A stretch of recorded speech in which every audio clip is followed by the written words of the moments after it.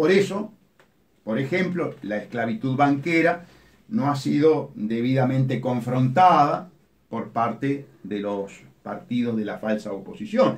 E incluso hay quienes salieron, eh, yo diría que en alguna medida, a justificarla, ¿eh? o por lo menos a no confrontarla, como el caso muy concreto de Pablo Mieres del Partido Independiente, diciendo que no era un tema constitucional. Para Pablo Mieres parecería que el tema de la libertad no es un tema constitucional. Los derechos humanos que implica el ejercicio de la libertad no es un tema constitucional. ¿Por qué? Por los famosos condicionamientos. Y en ese sentido, nosotros hemos recogido en los últimos tiempos una experiencia altamente frustrante que yo quiero poner en conocimiento de ustedes. Hemos convocado a políticos, artistas, periodistas, comunicadores, profesionales de primer nivel, académicos, a que eh, al momento de, si es posible, firmar contra la bancarización, pudiéramos sacar la foto correspondiente. Lo hemos invitado a hacer campañas a través de las redes, mediante videos, argumentando en contra de esta ley de esclavitud banquera, esta ley claramente, eh, digamos, proimperialista, privatizadora, es decir, contraria a todo lo que fue la ideología del Frente Amplio en el pasado, y se han excusado han dicho que no. No quieren, no se animan. ¿Por qué?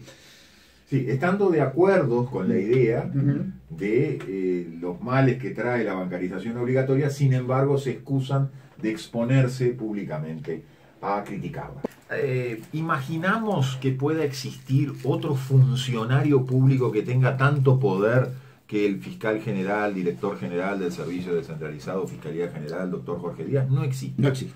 Por un lado le dimos el poder que tenían antes todos los jueces, el poder de investigar individualmente cada uno de los jueces, se lo, se lo arrancamos a cada uno de los jueces penales del país y se lo dimos a un solo funcionario.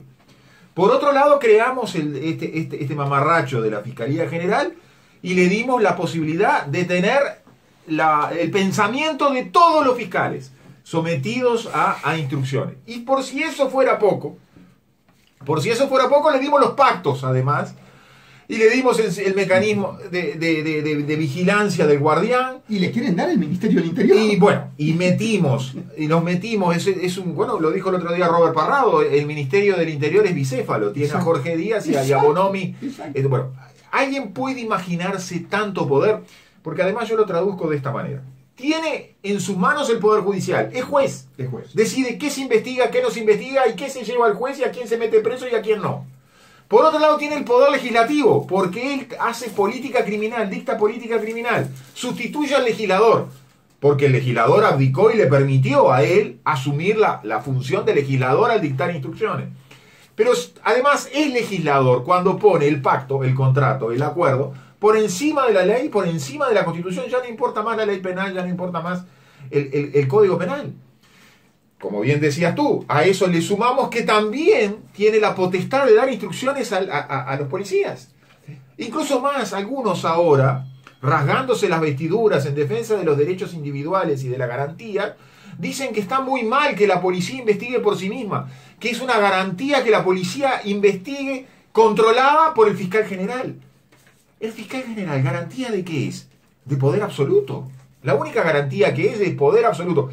No hay un funcionario, reitero esta, esta afirmación, no hay un funcionario público único en el Uruguay que tenga el poder que tiene Jorge Díaz este, desde, desde un Estado que ya no podemos llamar una república. Si algo decía el pobre Montesquieu en algún momento era que había que repartir el poder entre la mayor cantidad de manos posible. Bueno, hemos hecho la, la operación inversa hemos sumado los tres poderes del Estado en un solo funcionario público. Ni siquiera Tabaré Vázquez tiene ese poder. Que no ha habido en la historia del país una fuerza política que haya gobernado más para las élites foráneas, para el imperialismo, que haya enterrado más ah, estructuralmente al país en su condición colonialista que el Frente Amplio. El Partido de la Gente, el señor Novik, es una jugada electoral, político-partidaria, de la masonería, ¿verdad? ¿Para qué? Para perpetuar en el gobierno a la fuerza política más funcional a esa logia y funcional en sentido de redituabilidad económica, fundamentalmente en la concertación de negocios de las empresas amigotas donde están los masones, que Novik para nada es una fuerza de oposición. Por si eso fuera poco, otros colegas del Twitter me recuerdan el voto del fideicomiso, cuando necesitó Daniel Martínez los votos de Novik para el, para el fideicomiso. Y de eso se trata. Recordá cuando por el tema inseguridad concurre Novik con el doctor Barrera, abogado privado del fiscal general, ¿eh? Aquel, aquel llamado a la torre ejecutiva donde concurre toda la falsa oposición en una suerte de corte. Yo, te diría que además este, no podríamos decir que no hay afinidades ideológicas entre el abogado y el defendido tampoco. por supuesto pero no. pero el problema es que no hay eh, diferencias ideológicas. No hay diferencias ideológicas, eh, tenemos pensamiento único. Tenemos un pensamiento único, un pensamiento cómodo, un pensamiento que quiere hacer los que no estaban en el poder quieren hacer lo que el Frente Amplio hace en el poder. Entonces, ¿cómo puede haber oposición? Si los intereses si la comunión de ideas es total. Lunes 18 de junio de 2018, un nuevo programa del Poder Real con el doctor Gustavo Salle y el doctor Enrique Viana. Vamos a escucharlos.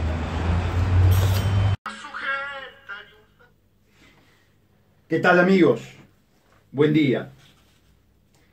Y cada vez será peor, sin lugar a ninguna duda. Desde esta audición hemos sido los únicos que en el éter hemos puesto el concepto terrorismo de Estado por omisión y terrorismo de Estado por comisión.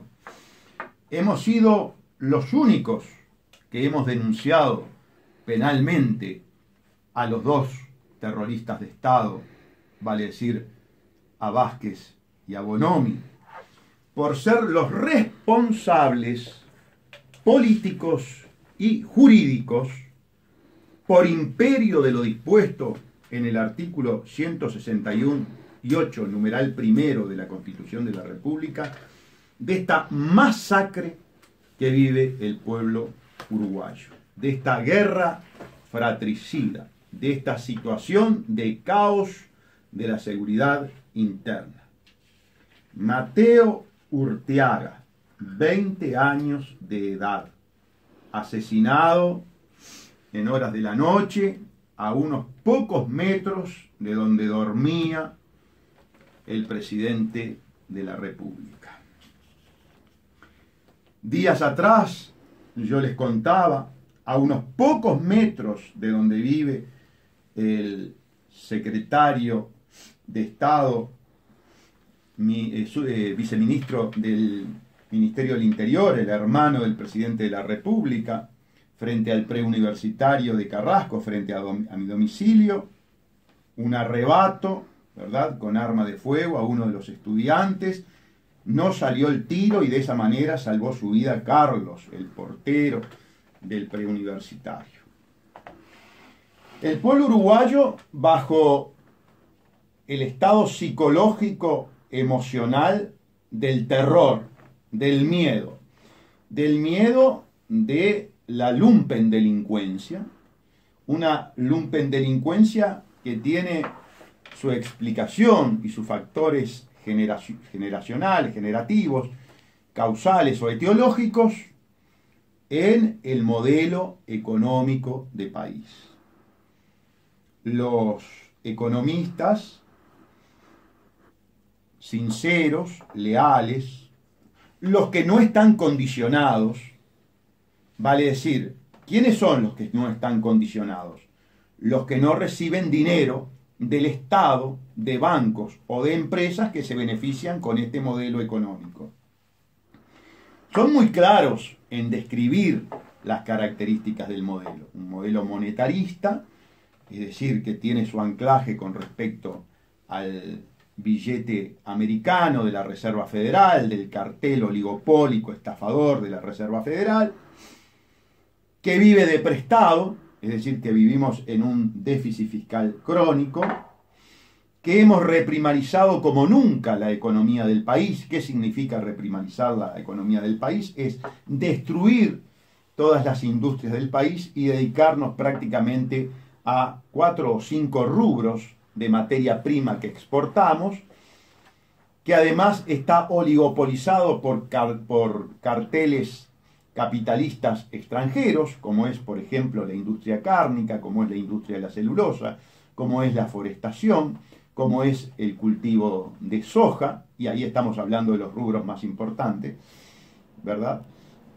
que ha mm, mentido, como es costumbre del ministro de Economía, Danilo Astori, con respecto al PBI, porque se incluye dentro del PBI nacional al tema de la pasta de celulosa, cuando en realidad lo único que se puede inscribir dentro del PBI son los elementos secundarios, accesorios, colaterales, porque en realidad la producción y exportación se hace desde zona franca.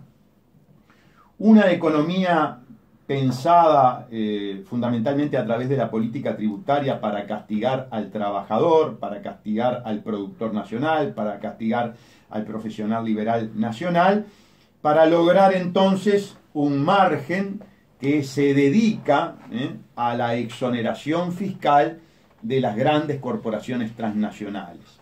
Vale decir, todo lo que criticó la izquierda, todo lo que recogía eh, aquel famoso canto popular, ¿verdad?, que tanto movilizaba a los jóvenes del pasado, se hizo exactamente lo contrario. Se profundizaron las políticas recalcitrantes, conservadoras, colonizadoras, imperialistas.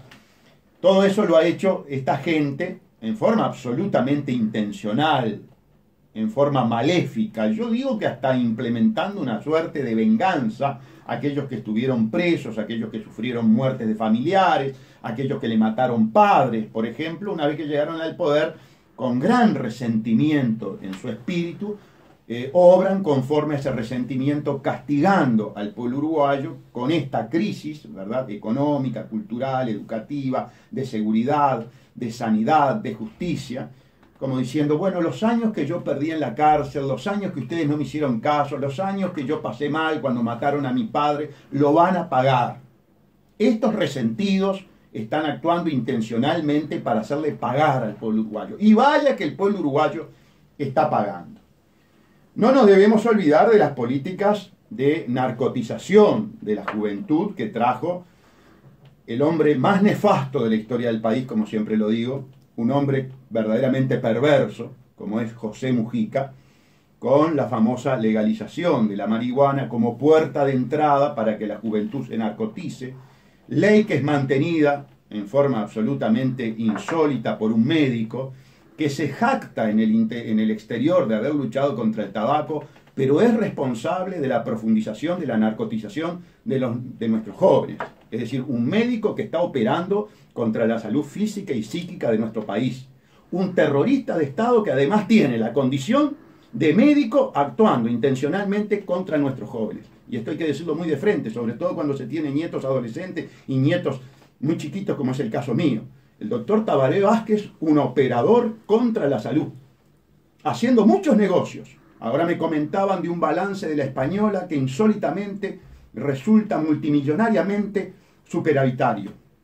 Sospechoso, sospechoso, porque otra condición que tienen estos individuos es la alta proclividad a la aparente corrupción, con empresas de amigotes y asesores, como el caso de Cutsa y la española, eh, que de repente ustedes lo ve que en medio de estas crisis, cuando se funden todas las empresas, cuando en el país comienza a darse una situación de desempleo altamente preocupante, estas empresas vinculadas a la logia mafiosa de la masonería comienzan a florecer como las flores en primavera. Altamente sospechoso. Pero como tenemos una maquinaria de impunidad que encabeza el fiscal comunista general este, Jorge Díaz, nada de eso se investiga. Todo este combo, todo este paquete explica entonces que estemos viviendo la peor crisis de seguridad de la historia del país. Que yo les digo una cosa, un buen presidente con todos los elementos de carácter humanos y materiales de que dispone el Estado uruguayo, un buen presidente, no lo que tenemos, un buen presidente, en menos de un mes restablece un clima de orden y tranquilidad que es lo que establece el artículo 168, numeral primero de la Constitución. Por supuesto, tiene que movilizar a todas las instituciones armadas de que dispone el Estado para ponerlas en una función disuasiva y en una función eh, represiva. Al mismo tiempo hay que recuperar un poder judicial que ha sido avasallado, que ha sido prácticamente eliminado y sustituido por una maquinaria de impunidad. En 30 días todo eso se puede hacer si hay voluntad política y naturalmente si se está dispuesto a confrontar con el gran capital internacional, foráneo, especulador, estafador, que tiene absolutamente condicionado al gobierno a través de la banca privada y a través, por supuesto, de las agencias calificadoras de riesgo. Le doy la bienvenida a Enrique. ¿Qué tal? Enrique? ¿Cómo Buen día, Gustavo. Eh, un poco siguiendo tus reflexiones, eh, yo creo que acá estamos en un problema de, de qué se trata gobernar. ¿no? Este, en un país, con la descripción que tú haces, gobernar esencialmente se trata de administrar, de gestionar recursos escasos. Eh, en un país en el grado de sometimiento, de condicionamiento, de crisis social, económica y moral que está el Uruguay, obviamente que se hace más imperioso establecer una gestión y esa gestión tiene que tener prioridades. Cuando tú bien citas el artículo 168, número 1 de la Constitución, establece una prioridad antes que toda. El Poder Ejecutivo tiene el deber, el deber público de brindar orden y tranquilidad. Como bien tú lo has marcado muchas veces, un estadio muy anterior todavía al de la seguridad. Pero enfrentados a una circunstancia donde no hay, y muy lejos estamos de que haya orden y tranquilidad, el reclamo de seguridad, la exigencia de brindar seguridad es la, exigencia número uno. Cuando ahora se hacen todas unas discusiones y enfrentamientos, algunos fingidos, otros para la tribuna y otros reales, este, por el tema del presupuesto, eh, el tema de la seguridad, este, de cómo debe enfrentarse los problemas de seguridad, parecen quedar nuevamente en un segundo o tercer plano. Y a veces yo entiendo, por ejemplo, el justo reclamo de los maestros, pero cuando los maestros reclaman, no solo reclaman mejorar sus remuneraciones justamente, sino también reclaman tener seguridad en, eh, el interior de la, escuela y no tienen ninguna de las, dos, de las dos cosas. Ahora, administrar recursos escasos, priorizar lo que debe ser prioritario, yo hago una comparación que es la comparación muy repetida, muy manida del, del hogar, de la familia, ¿no? Si en un hogar o una familia no existe un mínimo de orden y de tranquilidad, muy probablemente eh, no, no, puedan atenderse otros aspectos como son los referidos a la salud y a la educación de los integrantes de esa familia. Por eso hay actividades primordiales que, que define el Estado, porque si hay algo que define al Estado es la administración de todas sus fuerzas de seguridad, como tú bien hiciste mención, para justamente mantener a raya esta criminalidad que, nos invade por todos lados. Ahora, cuando nuestros gobernantes priorizan sobremanera los negocios, este, el gobernante se vuelve un gran negociador, un gran gestor este, de negocios. Tú hablabas de, mm, de, resentimiento. Yo también hablo de una vieja expresión que los más veteranos van a recordar. Este, mi madre me acuerdo que siempre la usaba y a mí me llamaba la atención angurria. Es decir, la angurria por tener los bolsillos llenos. Y los negocios dan bolsillos llenos. El tema de la seguridad, el tema de atacar propiamente los temas de seguridad, no, todo lo contrario.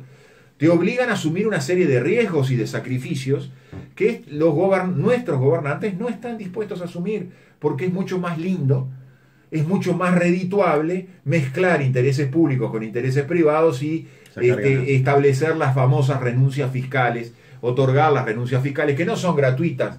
Por, por supuesto que por el, el solo hecho de renuncia fiscal para el pueblo uruguayo significa entregar, entre otras cosas, el agua en forma, en forma gratuita, pero además significa el establecimiento de una serie de prerrogativas, ya no solo para los empresarios privados, sino para nuestros gobernantes, que se les permite saltear eh, todas las normas que hacen a los controles públicos para otorgar justamente esas renuncias públicas a dedo en forma directa este, con respecto a determinados intereses que luego retribuyen retribuyen a través de las campañas políticas. Este, y todos sabemos que hoy es más importante para hacer una campaña política tener dinero que hasta mm, hacer demagogia para obtener votos. Es mucho más importante tener dinero para una campaña este, publicitaria que te va a dar de esa manera, te va a asegurar los votos para mantenerte en el poder.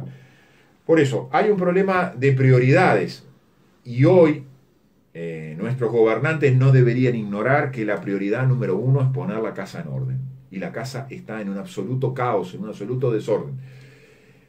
Lo que uno tiende a pensar es que si la casa estuviera en orden, quizás la gente tendría tiempo para observar qué pasa cuando nuestros gobernantes se dedican a hacer negocios, cómo los hacen y cómo los hacen. Con la casa en desorden, el ciudadano la preocupación mayor que tiene es caminar esas 5 o 6 cuadras que tiene que caminar hasta la parada del ómnibus y que no le pasen. Que no lo maten. Eh, eh, efectivamente. Hay una palabra, amigos, que es fundamental en política y que se llama condicionamiento. Y no solamente en política. Eh, con motivo de oponernos a la ley de esclavitud banquera, con motivo de oponernos a esta ley que significa que todo el pueblo uruguayo quede en manos de los narcocriminales, de los banqueros, porque ustedes saben que todo el negocio del narcotráfico en última instancia converge en el sistema financiero internacional. Desde hace cientos de años ello es así. Por lo tanto, cuando un gobernante nos obliga a que todo nuestro dinero pase por el banco, es un comportamiento que favorece, que propende al narcotráfico. Por eso yo llamo a los gobiernos del Frente Amplio narcoestado. Mujica y Vázquez establecieron en nuestro país, a través de la ley 19.210 y a través de la legalización de la marihuana, un narcoestado. Ahora bien, cuando eh, usted está condicionado, como lo están cantidad de personas en el país, fundamentalmente los más condicionados son los políticos, ¿qué sucede?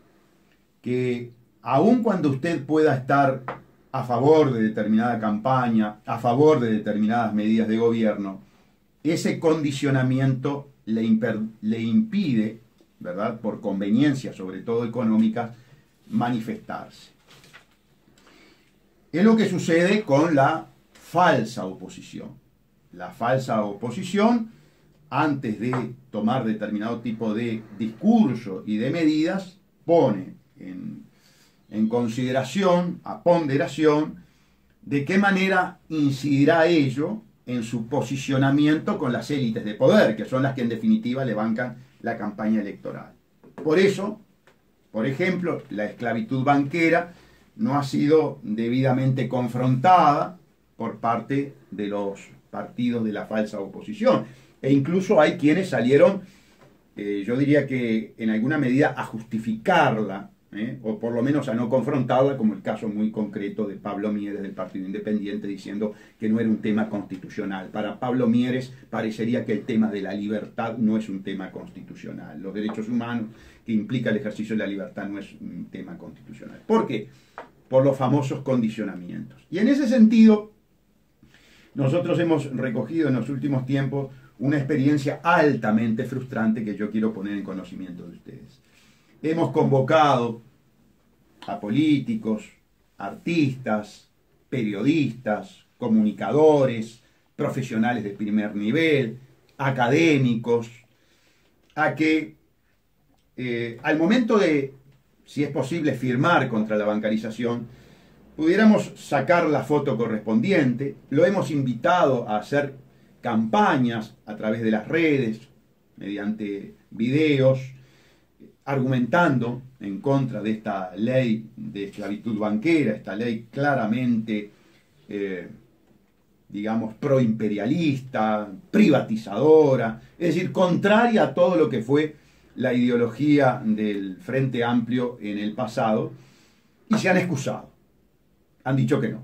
No quieren, no se animan. ¿Por qué?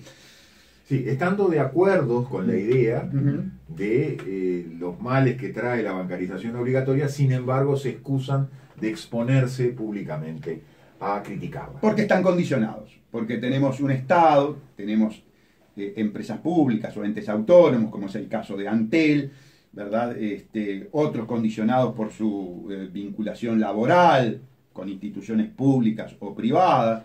Piensen, por ejemplo, en un médico que trabaja en la Asociación Española. Piensen, por ejemplo, en toda la gente que trabaja en CUTSA, ¿verdad? Esas empresas que tienen esa amistad bastante oscura, poco transparente, donde el presidente y la familia del presidente, en Tenfield, efectivamente, todos los condicionamientos que significa el relacionamiento con, con este, Antel, ¿eh? en esas promociones, en esas, eh, ¿cómo es que se le llama cuando? Auspicios que hace Antel, ¿verdad? Campañas publicitarias. Campañas publicitarias. Ahora estamos viendo, por ejemplo, cómo abusivamente el Estado utiliza los medios de comunicación para hacer propaganda por, por eh, eh, empresas públicas que son monopólicas, que no tienen competencia, que no tiene sentido la propaganda, pero crea el condicionamiento, ¿no? Indudablemente crea el condicionamiento. Paradojalmente, Gustavo, entre otros de los tantísimos condicionamientos, eh, estuvo en su momento la publicidad del, Banco República. Este, yo tengo un banco y se utilizó a personajes de carnaval muy conocidos del carnaval uruguayo.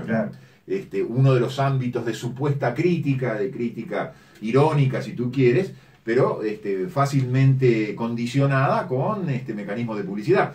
Brow que hoy padece, eh, entre otras instituciones y en especial este, instituciones estatales el, tema este de la bancarización obligatoria. La bancarización obligatoria, amigos, eh, vinculada al tema de seguridad, ha sido un total y absoluto fracaso. Nosotros en la audición pasada hicimos el análisis de la eh, sentencia, de la salvaje sentencia que declara la constitucionalidad de la ley de bancarización obligatoria y que da como argumento para esa constitucionalidad el interés general de la tributación, de la recaudación, de la formalización de la economía y de la seguridad, siendo que precisamente en materia de seguridad lo que tenemos es que la gente se ve absolutamente expuesta cuando tiene que hacer esas largas colas en los cajeros, cuando se suceden, por ejemplo, los, eh, los copamientos de los establecimientos comerciales que tienen la red de cajeros, y usted ve allí individuos con ametralladoras y deambular sin saber dónde ubicarse a resguardo a una chiquilina de 10 años con un, este, con un paraguas, en fin, todo lo que ustedes ven cotidianamente, todo este caos de seguridad, ¿verdad? Perdóname Gustavo, pero la supuesta bancarización obligatoria era para por el tema de la seguridad. El nuevo código del proceso penal era por el tema de la seguridad. El guardián era por el tema de la seguridad. El, el tema de la seguridad usado como un señuelo que no tiene solución o que no se le quiere buscar solución para justificar todas cuestiones que limitan los derechos individuales de las personas. Efectivamente, yo por eso hablo de perversidad del sistema, porque utilizar como señuelo elementos que hacen nada más y nada menos que a los derechos humanos es una conducta perversa, porque además lo hacen con absoluta premeditación, esto es intencional, esto está estudiado, está debidamente buscado, tienen asesoramiento internacional, sabemos, por ejemplo, de la intervención de las ONG bancadas por este, Soros y Rockefeller para determinadas eh, campañas, para determinadas políticas, para propender hacia determinadas ideologías, ¿eh? eso no, no, cabe la menor duda. Entonces, frente a esta situación, eh, uno esperaba que la falsa oposición reaccionara. Vamos a explicar lo siguiente, la falsa oposición no puede reaccionar por muchos motivos entre otros el condicionamiento. Ustedes saben que eh, las intendencias del interior del país fueron totalmente avasalladas en su autonomía financiera. Ustedes saben que una de las recaudaciones más importantes que tenían las intendencias era precisamente el tema de la patente. La unificación y centralización de, de la patente fue un masazo brutal a las intendencias. Por eso, todas las intendencias blancas, por supuesto que las otras también, pero hablando de quien hoy debería representar oposición por el caudal electoral que dicen las encuestas, se encuentran absolutamente condicionadas y están permanentemente con la mano extendida para recibir del gobierno de Tabaré Vázquez los recursos que le permitan llevar adelante mínimamente, mínimamente, con el cumplimiento de la agenda eh, de carácter departamental. Entonces, por ahí tenemos el, también el condicionamiento económico del gobierno central de Tabaré Vázquez a los intendentes, a los intendentes de la oposición o de la falsa oposición. Entonces, vean cómo el, gobierno, vean cómo ejercer el gobierno le permite a determinar a la fuerza política que lo está haciendo poder determinar, condicionar el comportamiento de quienes aparentemente deberían constituirse en la oposición defendiendo los intereses del Estado que están siendo atacados por esta fuerza eh, política. Ese condicionamiento, amigos, es tan grande que, por ejemplo, frente a hechos de criminalidad muy claros, o de aparente criminalidad muy claro, voy a utilizar el término aparente para cubrirnos, porque como tenemos un Ministerio Público, una Fiscalía General que no quiere investigar, evidentemente para nosotros se nos hace muy difícil poder enfrentar, por ejemplo, un juicio de difamación e injuria, interponiendo la excepción veritatis, la exceptio veritatis, que es la excepción de verdad. Entonces nos tenemos que cuidar, porque sabemos que además nuestra prédica está molestando mucho al gobierno, nuestra prédica está llegando a la gente, el gobierno se siente profundamente molesto con el hecho de que tomen Estado público sus maniobras entre los amigotes masones, en los amigotes de las grandes corporaciones internacionales. Pero les decía que ese condicionamiento es tan importante que aun cuando, por ejemplo, figuras políticas puedan compartir todo lo nefasto que es el contrato abusivo, leonino, eh, nulo de UPM con el gobierno, no lo pueden manifestar. No lo pueden manifestar. Por diferentes motivos que veremos al retorno después de la pausa comercial. Amigos, dentro del tema del terrorismo de Estado ejercido por Vázquez y Bonomi, nosotros tenemos que destacar también la ingratitud de un doble rasero, es decir, de un doble comportamiento, de un doble discurso absolutamente inmoral. Este gobierno ha hecho hincapié el fiscal general comunista Jorge Díaz ha creado una fiscalía especializada en temas de derechos humanos para el pasado. Es decir, se preocupa por las violaciones de los derechos humanos que efectivamente se dieron hace 40 años atrás, ¿verdad?, durante el gobierno de facto, el gobierno militar. a nosotros nos consta esa política de terrorismo de Estado, porque fuimos el único abogado en el país, el único abogado en el país que buscamos al verdadero autor intelectual, que es el imperialismo americano. No fue Javier Miranda, no fue el pit y sus abogados, no fue el Partido Comunista, no fue Rafael Michelini, no fue la diputada Hellman, ninguno de ellos apuntó a Estados Unidos. No, no.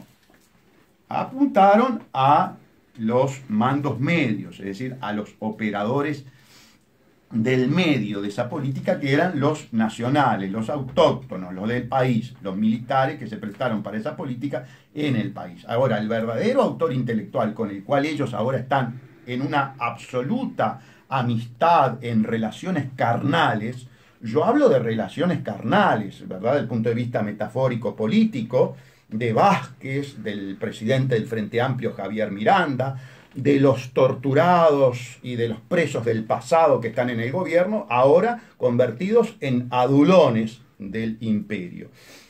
Y entonces quieren investigar hacia atrás solamente a los militares, no quieren pasar al plano internacional, al verdadero autor intelectual. Muy bien.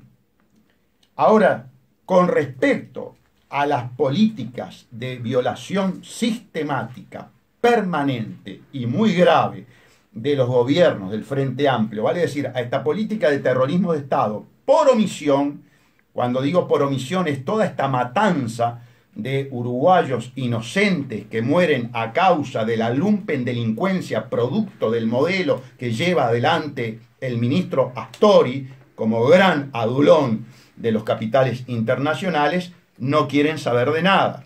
Cuando nosotros denunciamos al presidente Vázquez por esa omisión, Lamentablemente el Poder Judicial totalmente avasallado, disminuido, prácticamente inexistente, ya no lo llamamos Poder Judicial, lo, llamamos Sistema Judicial, claro, choca con las modificaciones bien pensadas que se producen a través del imperio con el nuevo Código del Proceso Penal que le dan al fiscal comunista Díaz el mando total, mando total con directivas particulares.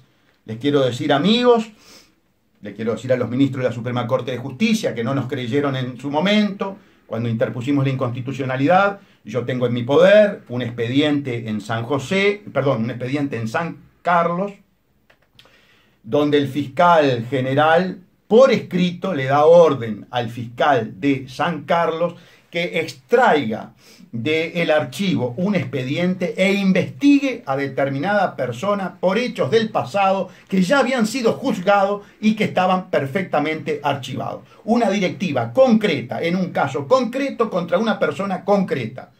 Así que, ministro de la Suprema Corte de Justicia, pueblo uruguayo, el fiscal general no da órdenes generales. Gremio de la Asociación de Magistrados del Uruguay, gremio de fiscales del país sepan que lo que decía Viana y Salle era verdad. Tengo el documento. El fiscal general dando orden expresa en un caso concreto al fiscal departamental, que evidentemente si se anima a no cumplirla, ya sabemos lo que le pasa por los temperamentos vindicativos de un ejercicio abusivo que hace el fiscal general que tiene a mucha gente en el psiquiatra, ¿verdad? Con estados depresivos, eh, de diferentes eh, fiscales. Muy bien. Yo, Gustavo, sí, sí, con, todo gusto. Sí, adelante. El otro día en una charla que daba en, Juan Lacase, eh, un poco llegaba a esta conclusión. imaginamos que pueda existir otro funcionario público que tenga tanto poder que el fiscal general, director general del Servicio Descentralizado, Fiscalía General, doctor Jorge Díaz, no existe. No existe. Por un lado le dimos el poder que tenían antes todos los jueces el poder de investigar individualmente cada uno de los jueces, se lo, se lo arrancamos a cada uno de los jueces penales del país y se lo dimos a un solo funcionario.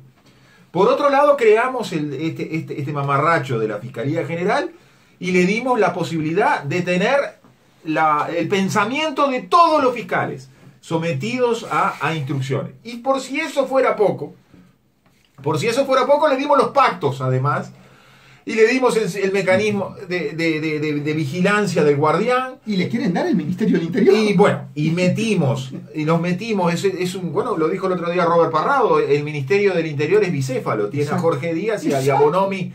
Bueno, ¿alguien puede imaginarse tanto poder? Porque además yo lo traduzco de esta manera. Tiene en sus manos el Poder Judicial, es juez. Es juez. Decide qué se investiga, qué no se investiga y qué se lleva al juez y a quién se mete preso y a quién no. Por otro lado tiene el poder legislativo, porque él hace política criminal, dicta política criminal, sustituye al legislador, porque el legislador abdicó y le permitió a él asumir la, la función de legislador al dictar instrucciones. Pero además es legislador cuando pone el pacto, el contrato, el acuerdo, por encima de la ley, por encima de la constitución, ya no importa más la ley penal, ya no importa más el, el código penal como bien decías tú, a eso le sumamos que también tiene la potestad de dar instrucciones a, los policías. Incluso más, algunos ahora, rasgándose las vestiduras en defensa de los derechos individuales y de la garantía, dicen que está muy mal que la policía investigue por sí misma, que es una garantía que la policía investigue controlada por el fiscal general. El fiscal general, ¿garantía de qué es? De poder absoluto. La única garantía que es de poder absoluto.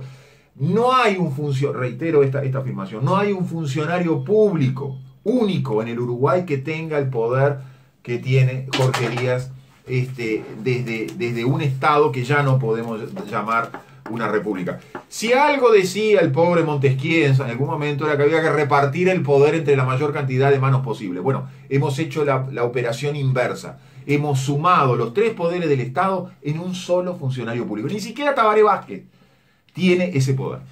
Bien, Enrique, pero yo quiero que le recuerdes a la población en función de qué ingeniería jurídica se dio esta situación y quiénes la votaron. Porque es muy importante. Yo veo a la Rañaga, por ejemplo. Y lo mismo que ahora hablan de contrarreforma. Lo que se presentan ahora como solución, ¿verdad? y llaman a votar y llaman a firmar, son los gestores de esta situación. Pero mira, Gustavo. Fueron la- el problema, mal la- puede ser la solución. La perversión es tan grande que están los que quieren hacer modificaciones para empeorar, llámense La Rañaga, llámense Bonomi Díaz con el proyecto este que acaban de presentar, llámense Verónica Alonso, y están del otro lado los supuestos defensores de los derechos humanos que están contentísimos con la aberración del nuevo código a partir del 1 de noviembre. Entonces tenés perversión de los dos lados, tenés la famosa esquizofrenia funcionando a, bombo, a bombo batiente. Claro. Eh, individuos como Constanza Moreira, por ejemplo, que trajeron este código yanqui, que trajeron el código imperialista, que se comportaron como facilitadores como del con imperio. plena conciencia de que era así. Mira, la, la- la senadora Constanza Moreira fue de las pocas que dijo que le llamaba la atención que se acumulara tanto poder en un solo funcionario, pero levantó la mano y se lo otorgó. con total intencionalidad, ¿verdad? Y además yo quiero también remarcar la intencionalidad de Constanza Moreira por su doble discurso inmoral, siempre dando un perfil como de izquierda, sabiendo perfectamente que levantaba la mano por el Código Imperial de los Estados Unidos. ¿eh? Que quede bien claro. Una de las facilitadoras de las políticas colonialistas, imperialistas, conservadoras en el léxico del pasado de la ultraderecha es la senadora Constanza Bueno, Moreira. Gustavo, si querés una prueba de esquizofrenia más grande, es la famosa sentencia de la Suprema Corte, la 667 del 18 de mayo, ¿no? Cuando dentro de la sentencia, después de declarar que el código no es inconstitucional, sin embargo te encontrás con la pequeña sorpresita desarrollada en 30 páginas, de 60 o 70 páginas, en la cual tenés ministros que dicen que, en, algunos casos no hay que aplicar los artículos 15 y 16 de la Constitución, dos ministros, y hay tres que dicen que no, que hay que aplicarlo, que hay que interpretar el código conforme a la Constitución. Sin embargo, todos nuestros jueces hasta el presente siguen aplicando el código llevándose por delante de la Constitución. Y esto me hace acordar algo que me sorprendió mucho hace dos o tres meses, una charla que compartí con el constitucionalista, con el doctor Eduardo Luz. El doctor Eduardo Luz hizo una afirmación que a mí me dejó pensando, que fue la siguiente. En el Uruguay no vamos a tener más reformas, más reformas constitucionales. Vamos a tener leyes inconstitucionales. Con lo cual nos estaba diciendo lo que está pasando. Que ¿no? está pasando. Que se dictan las leyes pasándole por arriba a la Constitución. ¿Cuál es, ¿Cuál es la causa de eso? Es que no se quiere consultar al pueblo. Porque si se consulta al pueblo, hay que explicarle alguna de estas cosas y el pueblo no las va a aceptar. Porque muchas de estas cosas previstas en la Constitución son de sentido común. Yo siempre hago esta reflexión. Cuando la Constitución establece las 24 y 48 horas en, en el artículo 16, estableciendo que una persona a las, a las 24 horas tiene que declarar ante el juez y ante las 48 horas el juez tiene que tomar la decisión de si empieza o no el sumario, de si lo procesa o no, estableció una super garantía. Insuperable, pero es una super garantía propia de un proceso inquisitivo donde el juez es el que investiga. Una relación bilateral, juez-policía, policía-juez.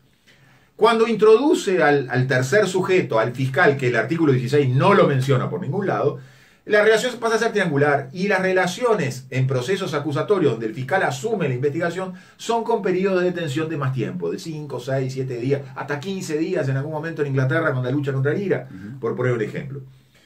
Pero si tú le hubieras planteado a la gente, vamos a un proceso acusatorio, pero tenemos que reformar la constitución, que hubiera sido lo decente, lo moral, lo lógico hacer, le tenías que decir, ¿qué prefiere usted? ¿24 y 48 horas para que el juez decida? ¿O 7 días en la comisaría preso con abogado, con todos los chiches, y, allí recién llevado al juez? Es un problema de sentido común. La gente dice, no, déjame con las 24 y 48 horas. Yo a veces lo digo en forma poco bruta, pero entre que me picaneen 24 y 48 horas y que me picaneen 7 días, prefiero que me picaneen 24 y 48 horas. Sí, yo estoy totalmente de acuerdo. Además, una sentencia en la que paradójicamente toda la introducción es poniendo de relieve que este código, tal cual lo aseveramos tú y yo, es un código anglosajón, es decir, procede de un sistema judicial, de un sistema institucional, político totalmente diferente, diferente al europeo, que es de donde se nutre la constitución de 1830, y por lo tanto, al reconocer esas procedencias absolutamente antagónicas, evidentemente es reconocer que tiene que haber desajustes, que tiene que haber, en definitiva, inconstitucionalidad. El otro día escuché una cosa increíble de un fiscal con el doctor Negro, diciendo en una audiencia que participamos, diciendo de que el, el código anterior era inconstitucional. ¿no? Yo digo, ¿y cuántas veces el doctor Negro planteó la inconstitucionalidad como fiscal del código anterior? Lo mismo todo- le pasa a Díaz. Estaba en todo su derecho, exacto. eh, eh, el mismo discurso. Todos hicieron carrera eh, judicial o Sí. en la magistratura aplicando esa ley y jamás y- dijeron que y me atrevo a decir que hicieron carrera judicial y hicieron algo más. ¿eh? Hicieron ca- eh, carreras, porque yo me imagino que algunos de estos personajes que estamos mencionando prontamente los vamos a ver. Yo no sé si por el Partido Comunista o por el MPP, pero lo vamos a ver en una lista, en una lista eh, de, de algún partido político. Eh, ya te lo estoy anticipando, Gustavo, que bueno, como en los hechos ha pasado con el doctor Subía también, ¿no? En los hechos pasados con su vida. Eh, a todo esto, amigos, hay un- una institución este, que verdaderamente juega un rol protagónico. Yo diría que un rol protagónico en este escenario de perversidades, que es la burocracia sindical, que es el PIT-CNT. Analicemos cuál ha sido el temperamento del PIT-CNT con respecto a la masacre, con respecto al terrorismo de Estado por omisión y por comisión de los gobiernos del Frente Amplio. Analicemos cuál ha sido su posicionamiento con respecto a la corrupción. Analicemos cuál ha sido su posicionamiento con respecto a la extranjerización, con respecto a las políticas de exención tributaria de las grandes corporaciones. ¿Y qué encontramos en la burocracia del PIT-CNT? La total y absoluta complicidad en toda esa política mefistofélica del Frente Amplio. En definitiva, tenemos un núcleo duro del PIT-CNT, que es la cúpula sindical corrupta, y digo corrupta con propiedad. Los tengo denunciados. La maquinaria de impunidad tiene muy detenido el, el proceso. Me estoy refiriendo a las viviendas sindicales, ¿verdad? Allí está denunciado operadores del gobierno, como es el caso de Polgar, actual presidente del Banco República, que privatizó gran parte del banco hipotecario siguiendo las directivas del Fondo Monetario Internacional y ahora siguiendo esas mismas directivas está privatizando el Banco República, con la diferencia que ahora tenemos la esclavitud banquera de por medio. Tenemos a individuos como Castillo, que está probado que utilizó cheques de los empresarios de la vivienda sindical y los derivó a financiar su campaña electoral. Tenemos implicado a Marcelo Abdala también en la denuncia, que firma un contrato absolutamente nulo con Polgar para después utilizarlo engañando a empresarios nacionales y extranjeros. Es decir, cuando hablamos de la cúpula sindical del PIT-CNT, por lo menos hay unos cuantos que yo los tengo allí denunciados, que son los más importantes inclusive, ¿no? Entonces, no es de extrañar esta política de complicidad, porque volvemos al, al tema anterior, vol- volvemos al tema del condicionamiento. Son individuos que están condicionados. Individuos que están condicionados por el gobierno porque tienen apetencias políticas, porque en este momento lo que recauda el PIT-CNT por concepto de afiliación son cifras multimillonarias, Son- porque son- no es auditado. Son un eslabón, además, porque ellos, ellos están condicionados, pero ellos son un mecanismo de condicionamiento también. Absoluto y total. Eh, y además de ser un, elemento de condicionamiento, son desde el punto de vista del manejo político, eh, eh, son eh, desde el punto de vista este, del manejo político, de la manipulación de masas, fundamentales. En la manipulación de masas son fundamentales. Han jugado como elemento desmovilizador de todos los grandes eh, emprendimientos populares que tienden a frenar un gobierno pro-oligárquico, colonialista, imperialista, reprimarizador. Por ejemplo, lo digo con conocimiento eh, de causa, en materia de bancarización obligatoria, han sido uh, quinta columna, palo en la rueda, han salido a hacer eh, propaganda a favor de los banqueros. PIT-CNT, comunistas, ex-tupamaros, socialistas, todos estos que, que se manifestaron en su momento contra los banqueros, hoy son los adulones y facilitadores más grandes de la, de la esclavización banquera.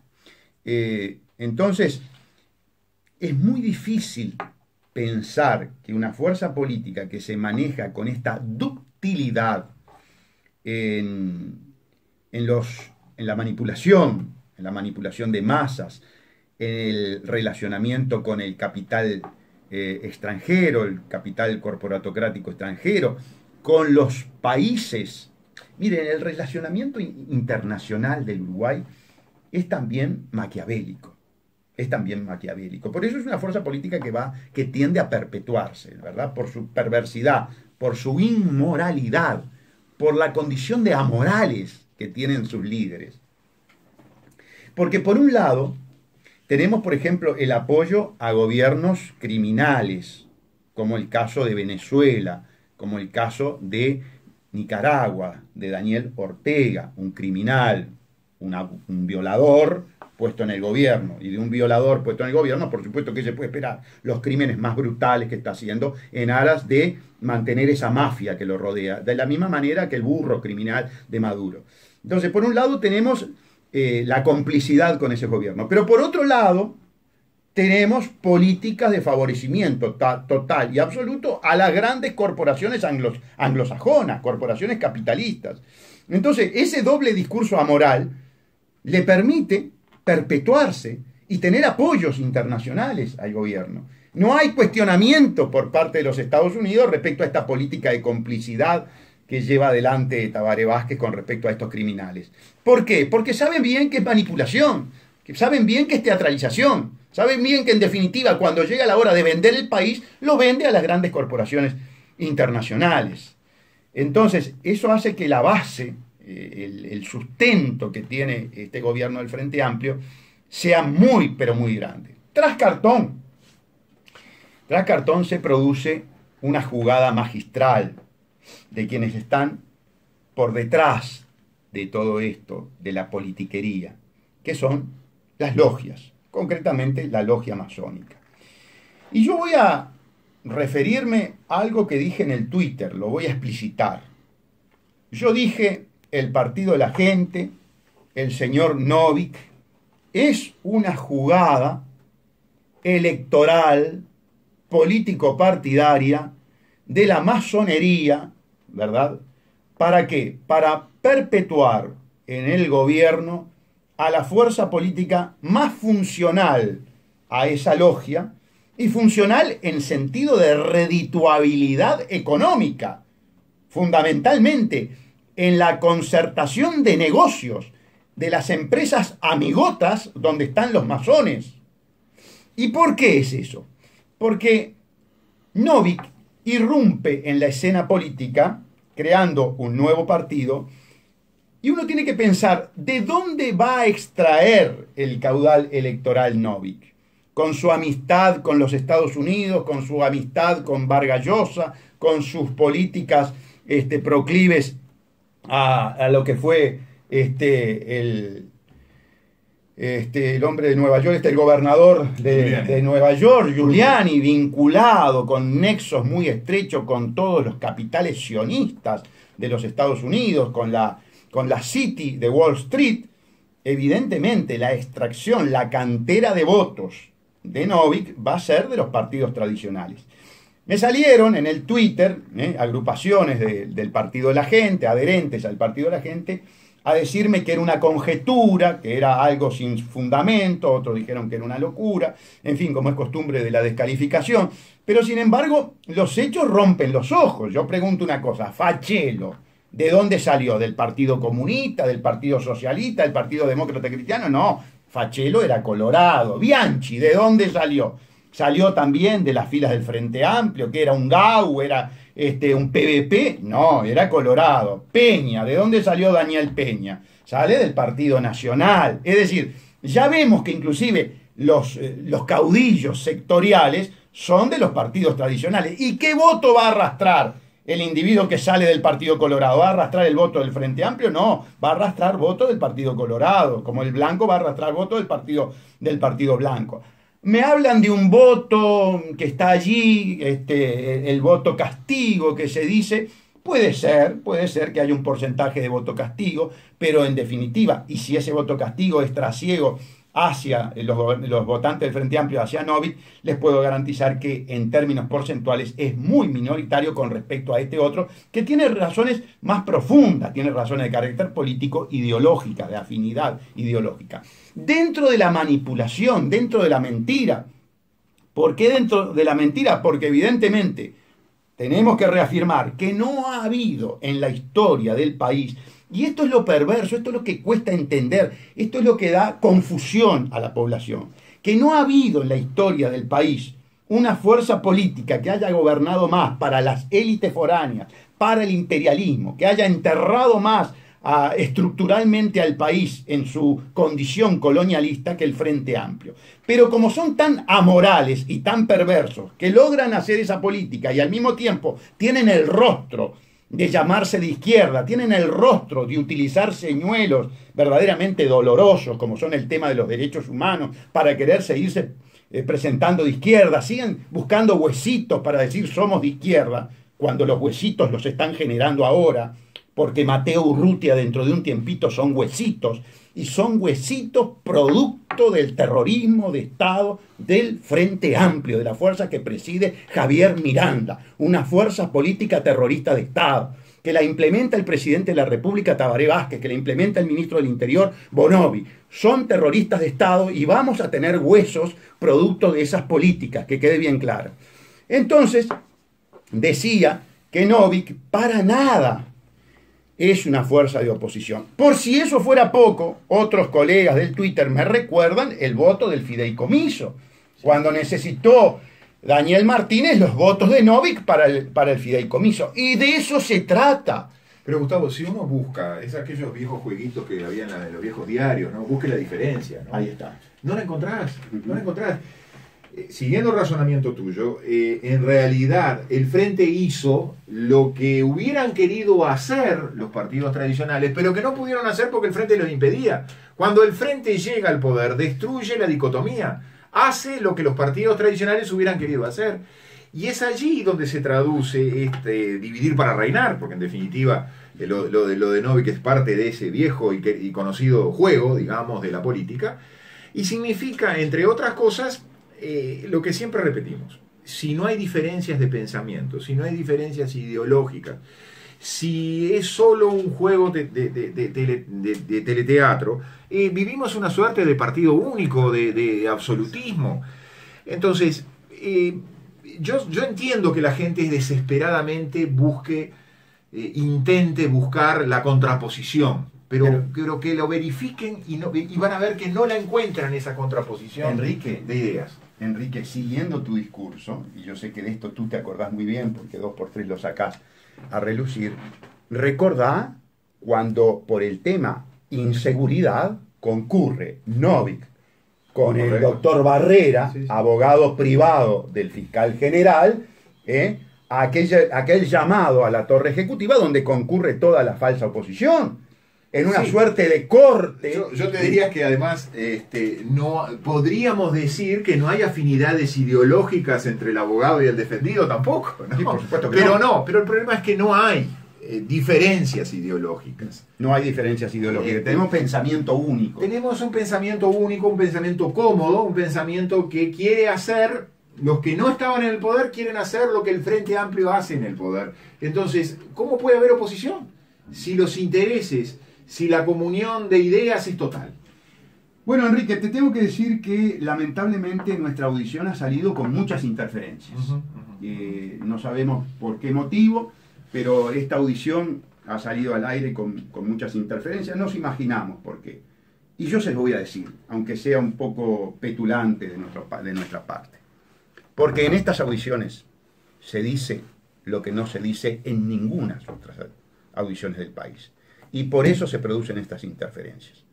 Yo no he escuchado a ningún político de esos que cobran miles de pesos por mes llamar a las cosas por su nombre. Y las cosas por su nombre es que el, el Frente Amplio es una fuerza política corrupta que está gobernando en base a la política del terrorismo de Estado por comisión y por omisión. Es una fuerza política que viola sistemáticamente los derechos humanos, por eso destruyó al Poder Judicial y por eso creó una maquinaria de impunidad como es la Fiscalía General, para proteger la corrupción y para proteger la violación sistemática de los derechos humanos. Hasta la próxima, amigos.